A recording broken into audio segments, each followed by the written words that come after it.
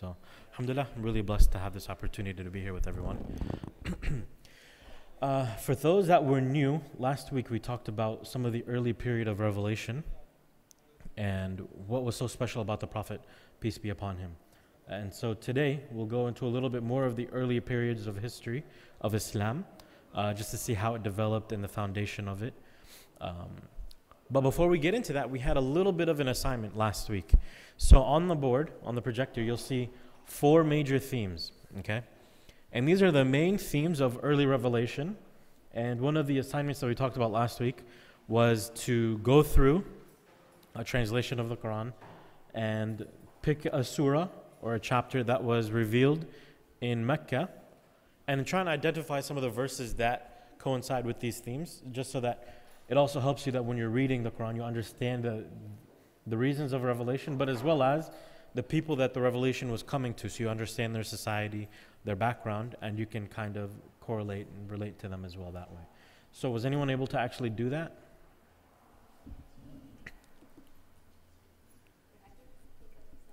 Okay. All right.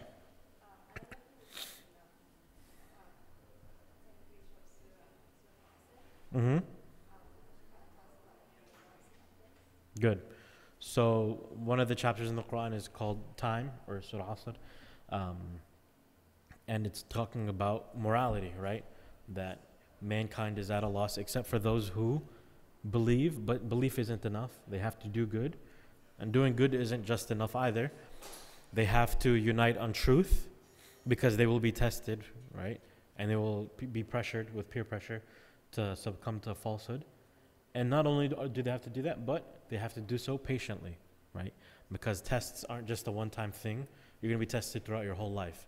So that's one chapter that correlates with one of the same talking about morals and ethics, right? You have to believe and do good. So you have a belief system as well as a morality and a check that way. Okay? Good. Thank you very much. Um, anyone else before we move on? Okay. All right. All right. So now we move on. Okay. The Prophet now uh, in Islam was for three period, uh, three years, for a period of about three years, was being called to secretly. So the Prophet would talk to people that he knew uh, personally and could connect with them. And then we talked about how after that period of three years, it was now being something widespread, something that was public and open. All right. The response to this was pretty much mass rejection. Okay. And we talked about some of the reasons why. Uh, you guys have remember? Anyone remember some of the reasons why the majority of the people that the prophet came to denied him? Yes. They didn't want to leave their lifestyle. Okay, good. So, especially people that had power and were corrupt, right? In order to change, that means they had to have less power and they would have to, you know, power can be very um, alluring, right? It's something that's very tempting. So, they didn't want to change their lifestyle. Okay, what else?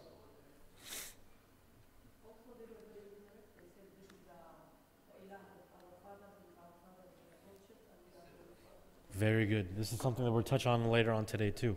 One of the main reasons that they didn't do it was because their fathers didn't? They wanted to follow in the path of their fathers and their forefathers. And you'll see this often when you're reading the Quran that this is the religion of my fathers and my forefathers, right? So when uh, Ibrahim, Prophet Abraham, comes to his father and tells him, Follow me, I'm, I'm sent from God as a messenger, okay? And do not fall into this idol worship what was his response? This is the religion of my fathers and my forefathers, right? So they stuck to it, okay? All right, very good. Anyone else? Okay, all right, let's move on. So, pilgrimage season was coming up, okay? And this is something that was very common even before Islam mandated, had, you know, even before Hajj in, in Islamic history and, you know, as a pillar of our faith. Even before this, they used to Mecca, like we talked about, was a center for trade. Okay, and people would actually come from other areas and lands to come visit the Kaaba, right, the holiest mosque, and they would do pilgrimage there, right? They would come visit. They would set up an idol. They would worship the different gods. They would slaughter animals in that area to a different deity, to an idol, to this, to that. So pilgrimage would come and they would come once a year, right, during the season. And now that the message is being open in public and spread that way, the Meccans, the people at that time, Quraysh as they're called, which is the, the, the area, the tribe, they got together and they knew that Muhammad would be there and would preach this message. So they got together, they called everyone together, and they wanted to make a unified assault against the Prophet. Okay? Because if everyone was saying this, then the chances of people coming in from different lands to believe them would be higher. Because you know what? If everyone in this classroom, right, if, someone's new to the area and someone's like, oh, should I go eat at this restaurant? And if anyone in this room, everyone was like, no, you shouldn't, they have cockroaches in their food or whatever. If everyone here said that, then what would be the chances of a person going there? Very slim. They, no one would go, right? But if this person was like, eh, they're okay, that person's like, oh, they're great. This person's like, yeah, I've had better. This person, you know, if, if the message is not unified, then maybe there's a chance. Okay?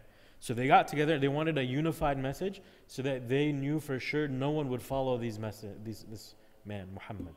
And no one would fall into this trap, quote unquote. All right?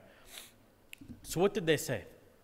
They got together and they're like in a gathering, kind of like this, and they're like, we should say he's a fortune teller.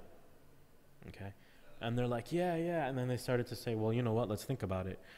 Actually, it doesn't make any sense if we were to call him a fortune teller because his methodology, right? The message that he's preaching is completely different than other fortune tellers.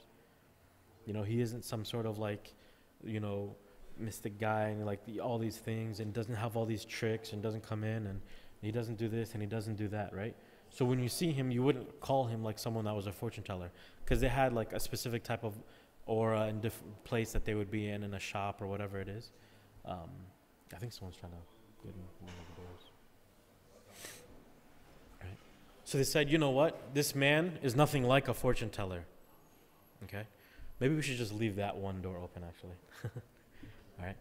So they said one guy's like, let's call him a fortune teller. Then they thought they thought they thought about it, and they're like, you know what? Doesn't make sense. Nothing about him says he's a fortune teller. Everyone knows what fortune tellers look like. He does. He isn't one of them. Okay. So they said, okay, what about we call him a poet? Maybe he's not a fortune teller. He's just really good with words, right? And the Quran kind of rhymes, so we'll just go with that. Then they thought about it, and some a lot of the people at that time were actual poets. It said, well, actually, if we say that, it doesn't also make sense. Because the Quran, while it is rhythmic, and sometimes it does rhyme, it's not metered, right? For poetry, it needs to be metered. There's a, there's a science behind it, okay? Nor was what he was saying poems, right? It rhymed, it had a rhythmic tune to it, but it wasn't a poem. So this doesn't make sense. We can't call him a poet. So they said, okay, let's call him insane. They're like, yeah, he's crazy. He's a madman. And they thought about it and they said, well, actually, if you think about it, he's a completely sane person, right? Other than this message that he has, nothing about him is different than us. Okay? And they said, okay, well, how about we call him a sorcerer? Okay? They're like, well, they thought about it. Doesn't really fit, but you know what? Let's just go with it. All right? Even though he didn't do things, right? Even though he wasn't a sorcerer, had nothing about him was sorcery like, they said, you know what, we'll say he's a sorcerer and we'll say he'll cast a spell on you, he'll do this to you, he'll break your families apart and he'll turn your son, the son, your sons against your fathers. And remember how we talked about earlier, one of the reasons they followed their religion was because of their lineage, their fathers, their forefathers. This was extremely important for them. Okay? So if they were to come to a people and tell them, don't listen to him, he's going to break, he's going to turn son against his father, that's a great warning. Am I in the way? I'm sorry. All right?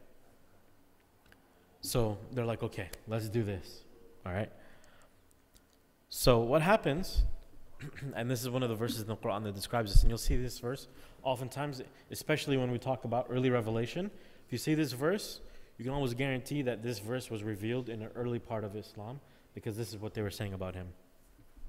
He says, وَإِن يَكَادُ الَّذِينَ كَفَرُوا يزلقونك بأبصارهم لما سمعوا الذكر ويقولون إنه لمجنون وما هو إلا ذكر للعالمين Okay. And indeed, and indeed, those who disbelieve would almost make you slip with their eyes when they hear the message. They see, say, indeed, he is mad.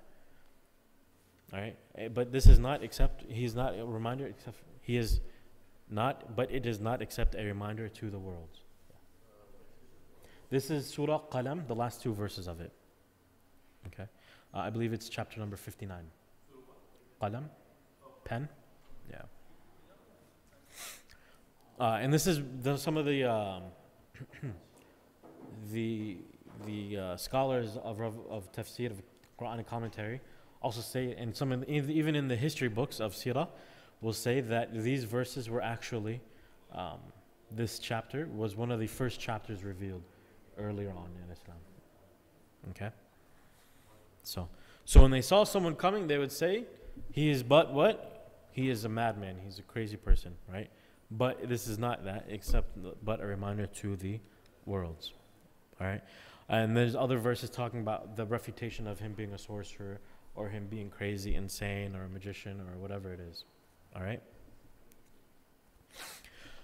And what's amazing is even though they would mock the Prophet, they would, you know, they would mock them. Whenever they saw a Muslim walking the streets, they would start laughing at him and they'd make fun of him right?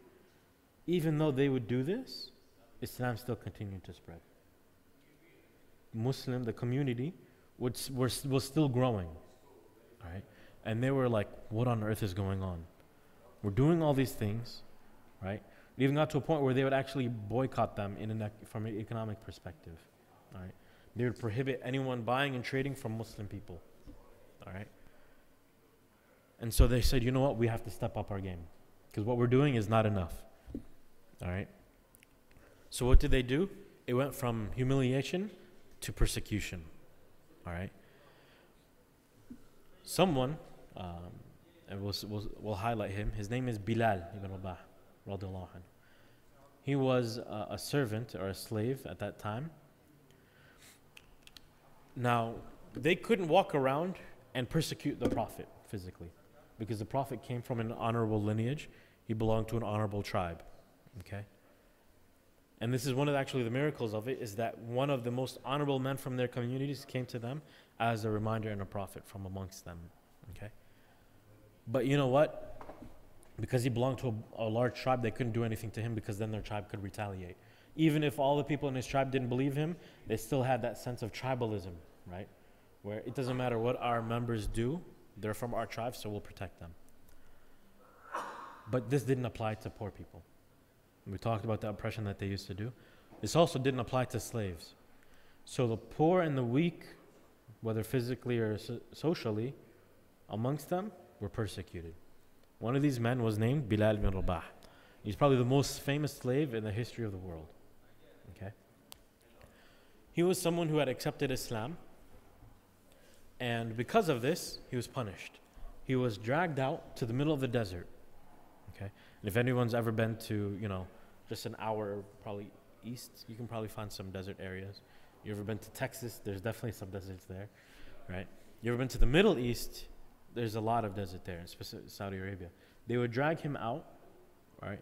And if you've ever walked into the sand or on the dirt when it's hot, even just walking outside on pavement when it's hot, it really burns.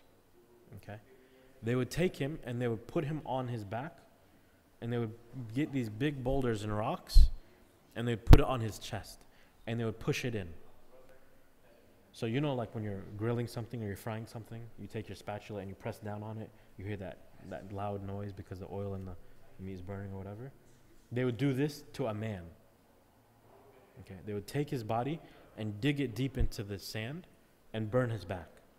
And they would yell to him, Abandon this faith, abandon this faith. Now, imagine the strength and courage it takes for someone not to abandon this faith, right?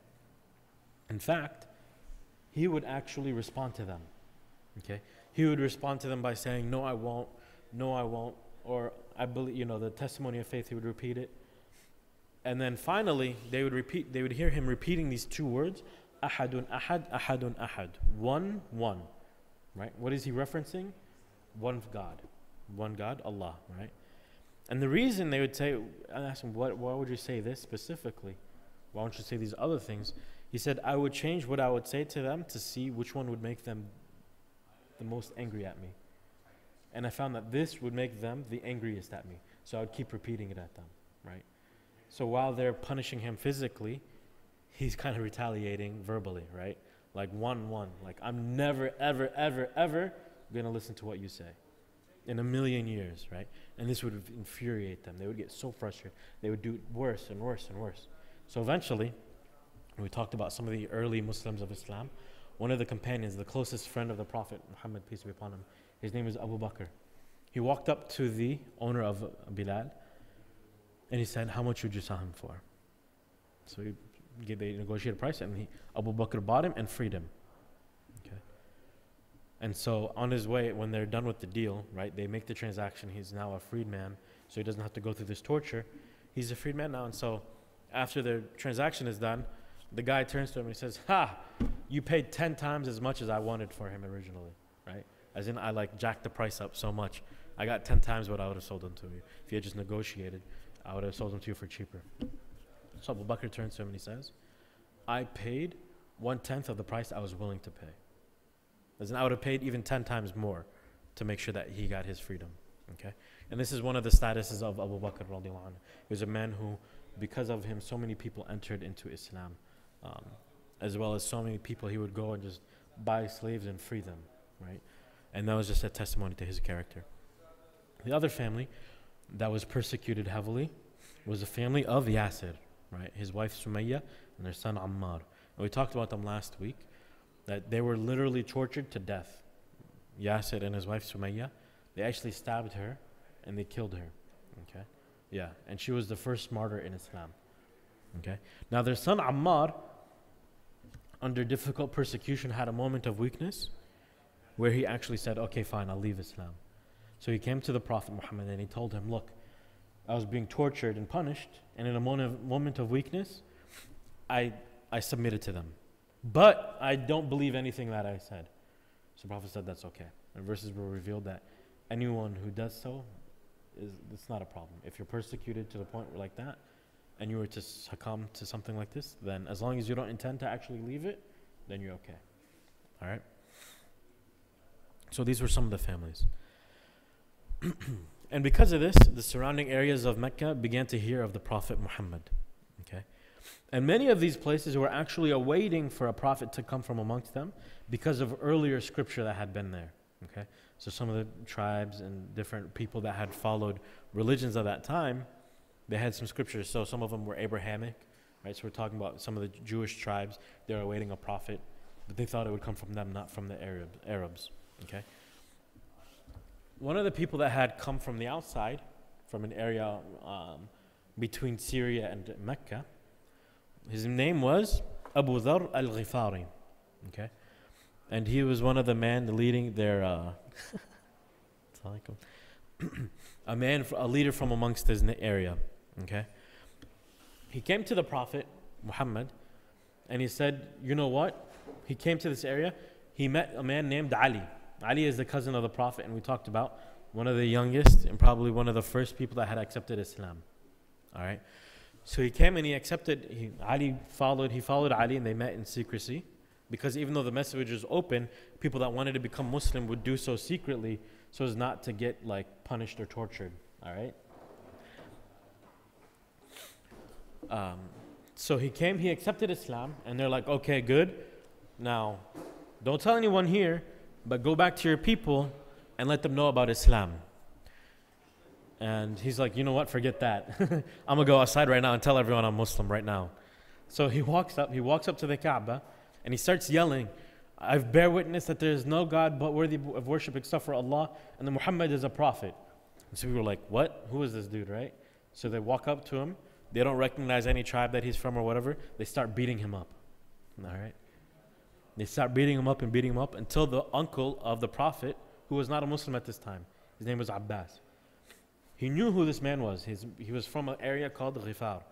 So he's like, stop, stop, right? Now the Meccans would actually do a lot of trade from this area. Okay? So if they did anything bad to this guy and he went back to his tribe and he told them, then that meant that they would lose money. So he's like, Stop, stop. Do you know where he's from? He's from this place. Stop. Would you want them to come back or to stop dealing with us in trade? What is wrong with you guys? Stop doing this, right? So they left him alone. Okay? And so Abu Dhar Ghifari, uh, he was like, All right, cool. So they left him alone. And he's like, you know what? I'm going to do it again. So he comes back the next day and he does the same thing. He goes up to the Kaaba. He starts yelling out, I bear witness that there's no God but Allah and Muhammad is his messenger and a prophet. So a different group of people are like, who is this dude? No one recognizes him. They start beating him up again, right? And so the Prophet's uncle Abbas comes. He's like, Stop, stop. Do you know who this guy is? If you do this to him, the people will retaliate. They won't give us, they won't trade, blah, blah, blah. Okay? And so that was just one of the stories I would let. And actually, a couple other people like this would do this. Um, so, for instance, the famous companion Umar, anhu, when he had accepted Islam, he also did something similar. But they knew who he was. And because of, you know, he was so tall and so physically like strong that even though they would fight, he wouldn't end up getting that badly hurt. They said he was so tall that when he sat on a horse, his legs would drag. So like just like your legs are dragging on like a chair, his legs he was that tall, right? So like seven foot four, maybe pro basketball player if he was alive today, you know. Anyways, um, so they would actually meet uh, in a house called Dar al Arqam or the house of Arqam, who was a companion early on. He gave up his house. He said, Look, we need a place to meet. We need a place to learn and study from you, Prophet Muhammad. So you can use my house. So they would meet there. Uh, and a lot of companions actually um, accepted Islam during this time. Okay? Now, what about some of the Muslims that weren't that strong or were facing persecution? We're talking now for a long period of time. We're not talking about for like one incident or two incidents. We're talking about boycotts, right, that lasted years. We're talking about family members that were disowned from their family, didn't have any money now because of this. Okay?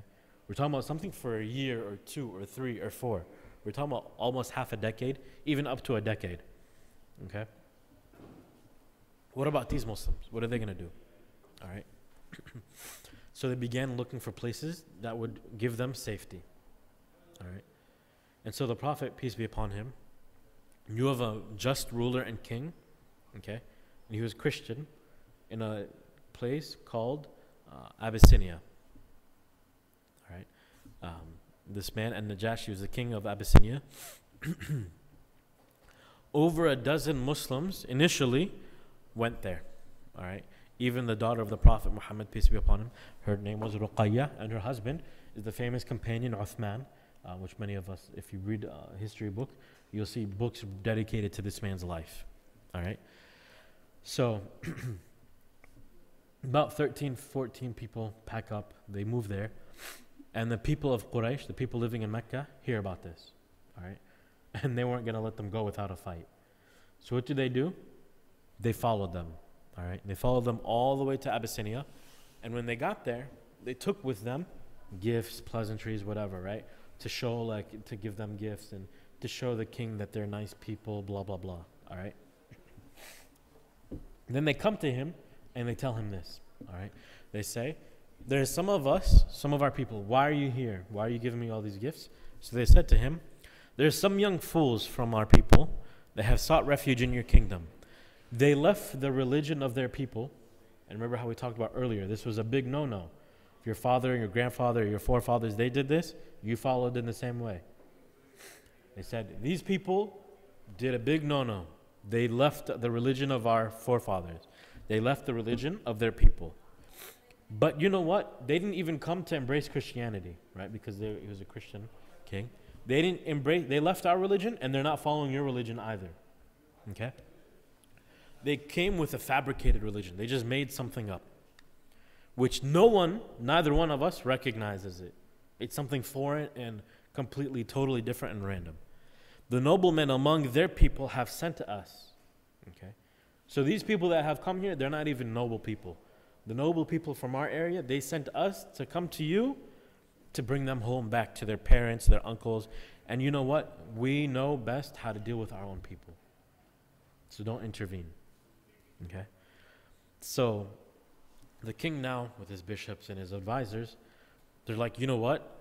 These people sound like they know what they're talking about. Give them back. He says, hold on a second. Remember, this, we're talking about somebody that was just. And this is actually a lesson for us, right? Whenever we hear one side of the story, realize there's always another side of the story. Okay? So this is a lesson to derive from this story. All right? Ja'far, the cousin of the Prophet, he says, so they're called, okay? And Ja'far is the older brother of Ali, Who is Ali? The cousin of the Prophet, one of the first people that became Muslim, and the man that led Abu Dhar al Ghifari, right, the guy from uh, the other Al Ghifar, to the Prophet to accept Islam. His older brother Ja'far says, Dear King, we were an ignorant people. We didn't know what we were doing.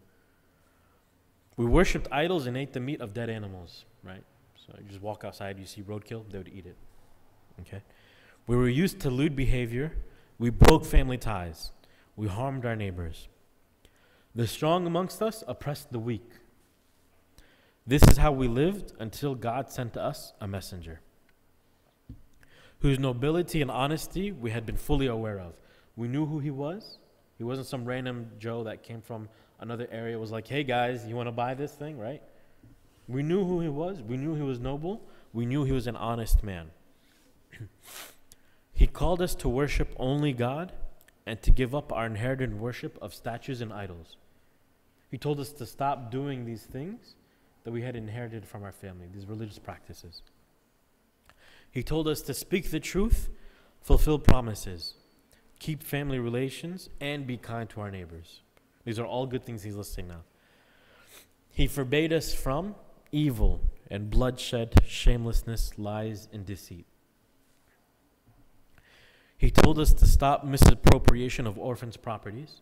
So when there was an orphan at that time, they would take his wealth and he would never inherit it. He would never get it. Okay?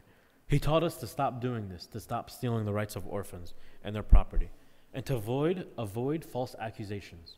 No longer are we now allowed to lie against people, and because our tribe is bigger than their tribe, we get what we want. No more of that. He taught us to pray, to give charity, and to fast. So you see how he breaks it up, right? The first, he talks about the morals and the ethics. We talked about this last week, right? Because that's what gets people's attention. Then he told us what to stop and to avoid, right? These moral and uh, these issues of morality and ethics. Now he tells us what is this religion he came with? He taught us to fast, to pray, to give charity. We believed in him and acted on his teachings. So we worshiped only God and no one else. So this is our story and why we're here. We, he came to us with this message. We believed him. We followed him. We worshiped only God and no one else. We forbade what we were forbidden to do. We did, we enjoyed what was lawful, what was made lawful to us. So we followed these teachings, right, of morals and ethics and fasting and prayer. This is why our people turned against us. Now he's making against a case against the people that followed him there. He said, This is all we're trying to do. And because of this, that's why they came. They tortured us. They tried to make us worship idols instead of God and consider the lawful, the indecencies that we used to do. So these things that they still do, oppressing the weak and all that stuff, they want us to think that that's okay. But we won't do it. So when they oppressed us because of this, we came here. Okay. We sought protection in your land because we know you're just. We chose you over others. See, now he's, he's talking. He's a very, you read this, very political, right? We chose you, O king, because we hope that we'd be safe here and we would not be oppressed. Right? Now they're talking to someone that's just. So if someone came to you and you consider yourself a just, honorable person, they come to you saying, We need your help because you're a just and honorable person, what are you going to do? You're going to be just and honorable, right? You're going to give them help. So this is what he says to him, right? We came to you because we knew you wouldn't let us go back to these people and be oppressed with them. So he asks, he says, okay, these verses of Revelation, you talked about all these things. Do you have any verses with you? Right? Let me hear what it is that you guys are calling to. So, one of the verses that was revealed here, we're talking about verses that had been revealed prior, about uh, stories of prior generations. One of the chapters that had been revealed at this time was the chapter of Mary, right? The 19th chapter. So he knows that he's a Christian king. So what does he decide to recite?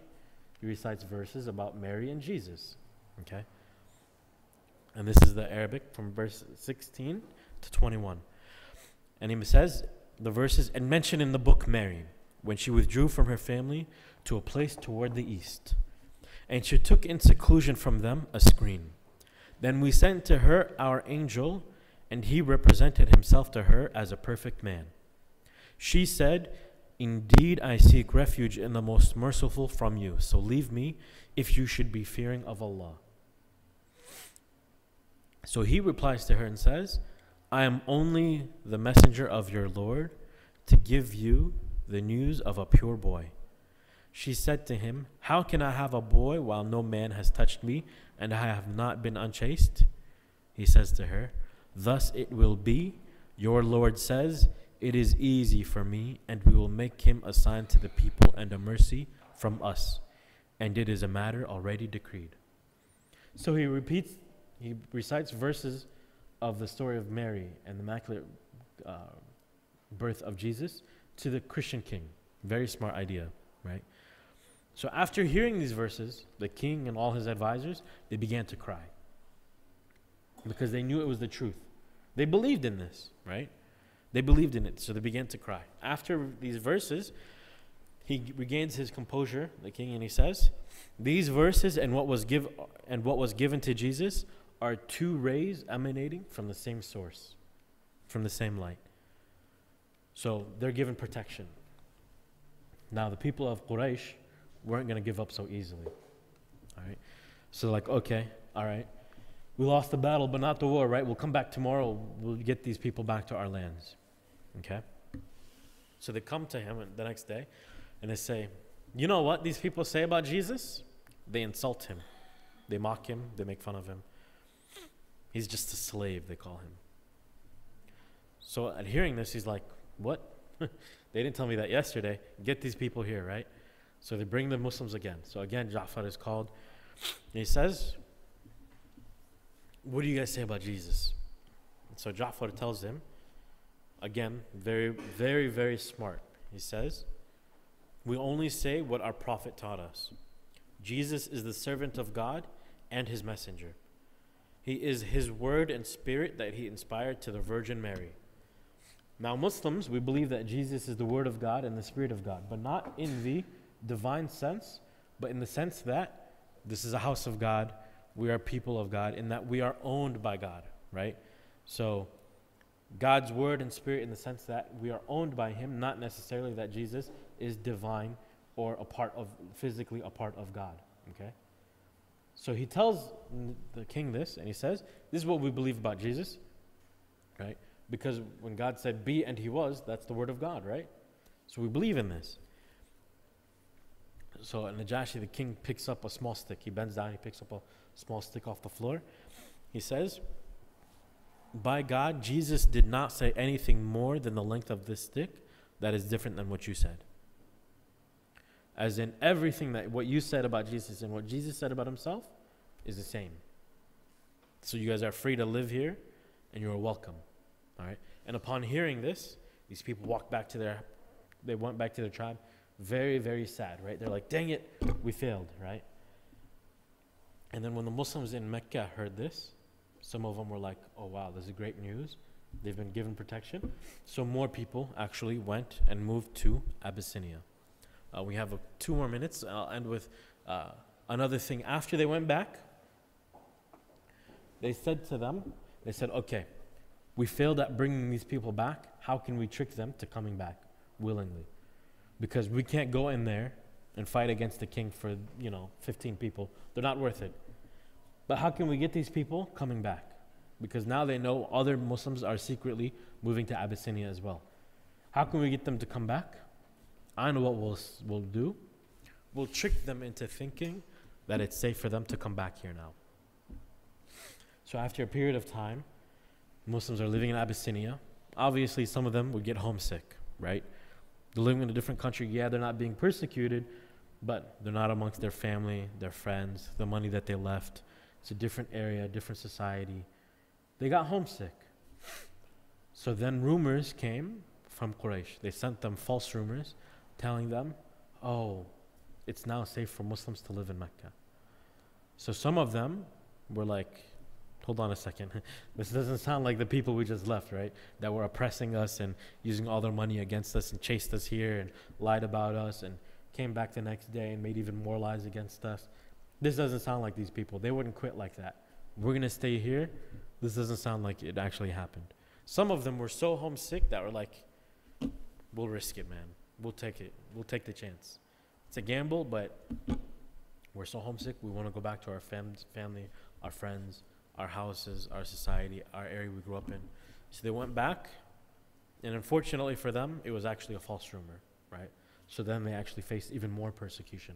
Some of them were jailed um, and imprisoned, actually. So um, that was the story of the first migration. Some of the lessons we can take from these stories, all right? We'll open it up now, and then we have about 10, 15 minutes of open question and answer. So I have some lessons. I've mentioned some of them. Now I want you guys to share with me some lessons you take from this critical and very important story uh, about early period of Islam. So the first question is, why is this such an important and critical story?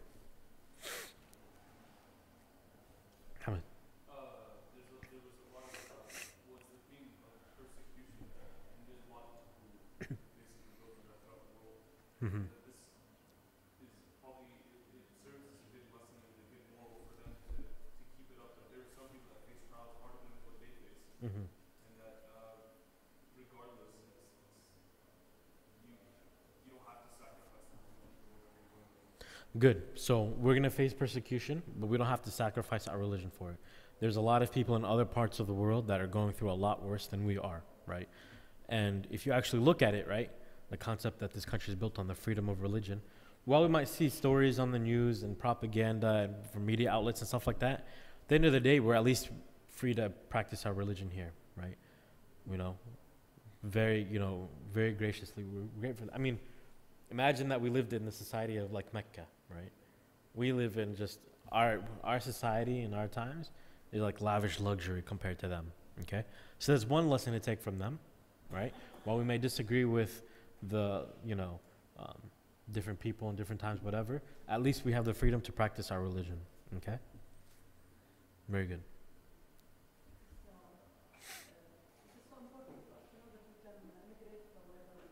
Mm-hmm.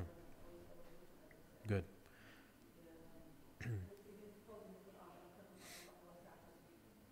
Mm-hmm.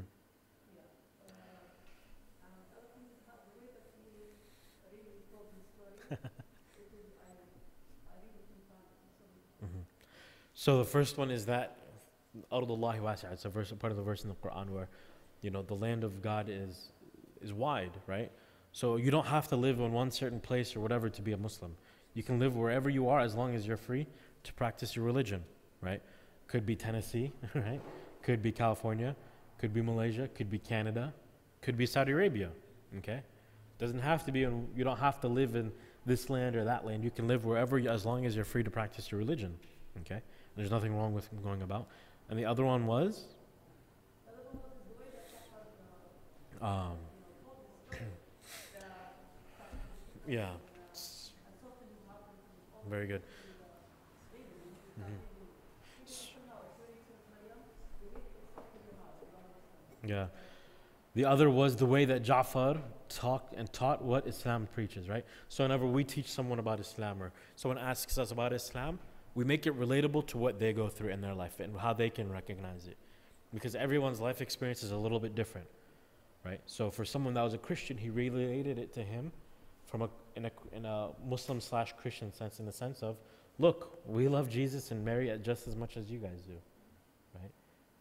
And these verses are really just beautiful verses that soften their hearts, right? Even to this day, as she said, if you read them, they'll soften your heart too, okay? Yeah. Yeah. Right. So he showed the period of ignorance that they used to live in. While they did do some good stuff, he showed them the bad stuff that they were called away from so that they wouldn't fall into it again, right? And again, if someone asks you now, because when people know that you're Muslim, sometimes you might be one of the only Muslims that they've ever met. I have some friends, you know, in Texas, when I lived there, sometimes these people, some people just didn't even know what, they had never met a Muslim before in their life, right? I've asked my friends, how many Muslims do you know? And they'll be like, you know what, you're the only one. So whether we realize it or not, we are kind of the face of the religion to these to other people. So he showed them and he showed them this is what we used to do, and now this is what we're called to do and what we've done. Okay? Very good. What are the lessons and can we extract from the story that we relate to ourselves? Perseverance and not giving up, right? Very good. Could have easily said, you know what? You guys caught us. You followed us all the way here. All right, let's go, right? But they didn't. Okay. Even some of the ones earlier, some of the ones that didn't migrate, right? Like, for instance, Bilal. He was tortured and punished so much, but he never gave up. In fact, he wanted to make them even angrier at him because he didn't care about them, right? So he was like, You guys are going to do this to me? I'm going to make you mad, right? You physically harm me, I'm going to retaliate, make you even show you that there's absolutely zero, zero hope in me coming back to what you're telling me to follow. So good. Yes.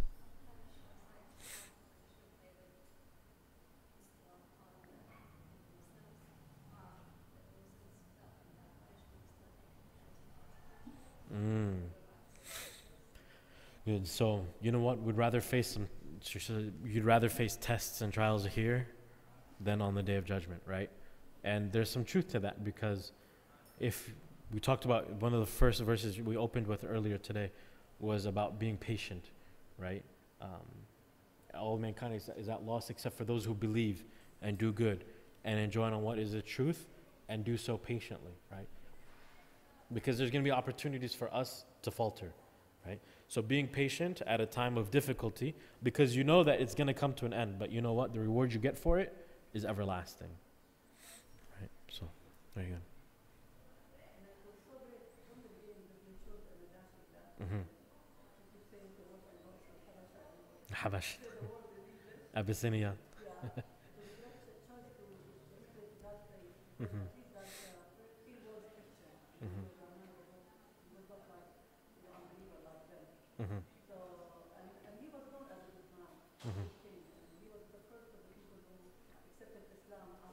Mm-hmm. So it shows you that Muslims don't have a monopoly on being good people, right? Sometimes we have like this kind of thought process that, uh, you know, very unfortunate. Muslims don't have a monopoly on good people, right? There's this man was a just king and a ruler, and he was a Christian. Okay, and that's actually very important because sometimes we get caught up so much in like the theology of things that we leave the actual morality and ethics of people. Okay, and so that's just as important for us to individualize and to realize between people. So, very good. And they chose him because of his moral character. Uh, it's in Africa. I can pull up a map for you and show it to you. Different places. Um, I believe it's near Ethiopia. Yeah, I believe so. I'll have to double check for you, but yeah. yeah. Yes.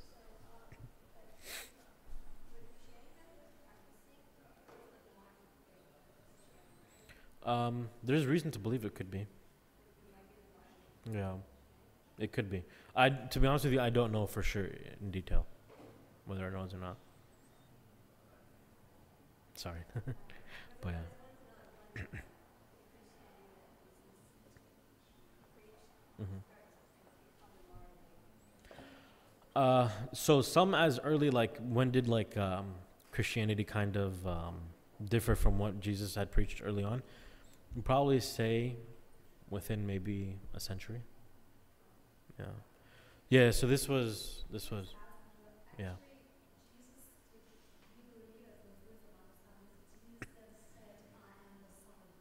Yeah.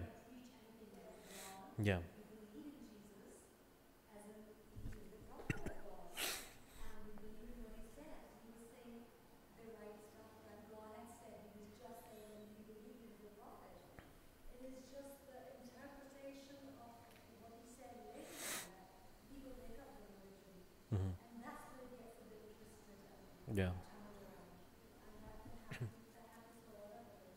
yeah.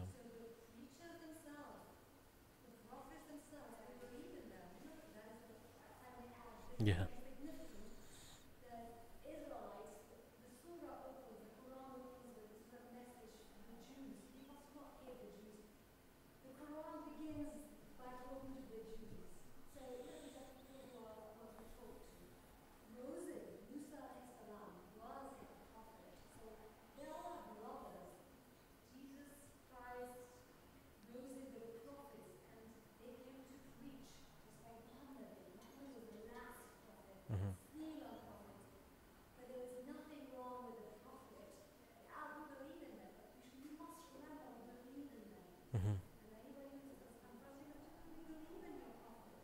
Yeah.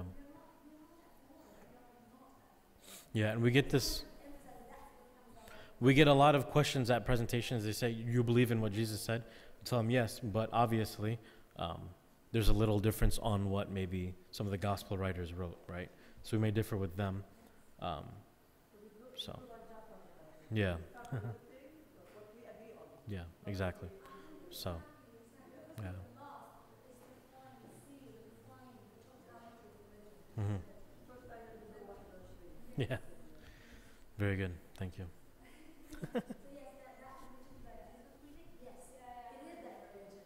yeah. Yeah. Yeah. So you you look at like the gospel writers, for instance, and then you can see some of the shift start there. Yeah. So.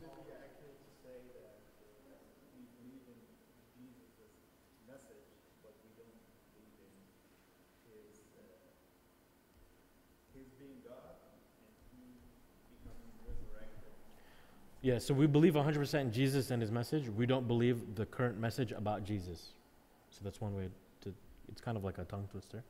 But we believe in the message of Jesus, but we don't believe what is said about him uh, theologically in his divinity and things like that. So, for instance, there are some Bibles with black text and red text. The red text would be the actual words of Jesus that they're quoting, and the black text is writing commentary about him. So, we'll believe the red text, but not the black text. So.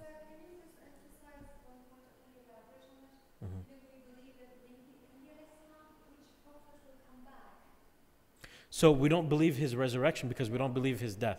But we do believe that Jesus will come back. So, no, so at the time of the Mahdi, right? When the Mahdi comes, we believe Jesus will come back, but we don't believe that he ever died. So we don't believe in resurrection, but we believe he will come back. Yeah. Yeah. Yeah. Yeah. So that's also an important distinction. But yeah. Khair. Yes. Mhm. Yeah. Exactly. Mhm. Mhm. Yeah. So we believe all the prophets made sujood, right? Prostration. And in a sense, Muslim as in the one who submits themselves. Okay. So that's why in the Quran you even see um, Abraham being referred to as a Muslim, right? In the sense that he submits himself to God. Okay. Very good. All right. We have about three minutes left uh, for any questions and comments. What's your name, young man? What's your name? All right, he doesn't have a name, alhamdulillah. He's very cute, mashallah. uh, mashallah, he's a, our youngest member. alhamdulillah. Okay, all right. Um, Jazakallah khair. Uh, s- may Allah subhanahu wa ta'ala make this a gathering of gathering of uh, purity and um, blessing, and bless us always in our path, and may He make us those who strive to come closer to Him as well. Ameen. سبحانك رب العزة عما يصفون وسلام على المرسلين والحمد لله رب العالمين. Jazakallah khair. Thank you all for showing up.